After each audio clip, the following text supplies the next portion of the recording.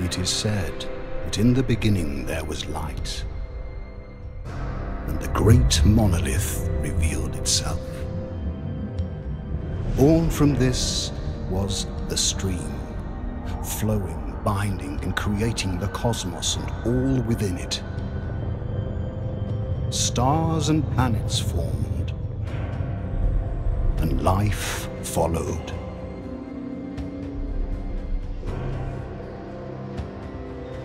This was the dawn of all races.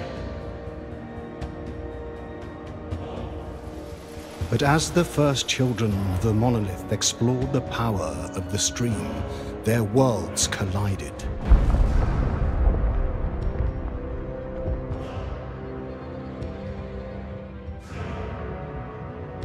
Ultimately, one race would strive for power.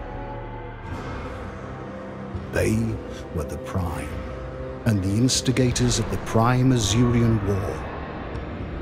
With their victory, the Prime claimed the core, and with it, the home of the monolith. It bestowed great power unto them, and gave them dominion over all life.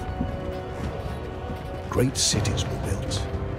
Technological advancements and trade allowed the worlds to flourish and bloom. And thus, the Golden Age began. This was the time of heroes, where legends were born and their stories told. And so it was for eons. But this was not to last. An evil is spreading through the cosmos.